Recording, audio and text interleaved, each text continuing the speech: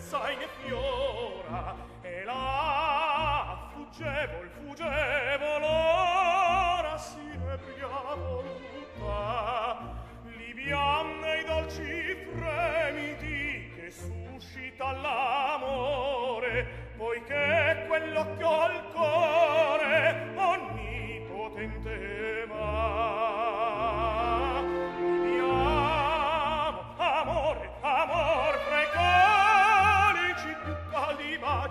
avrà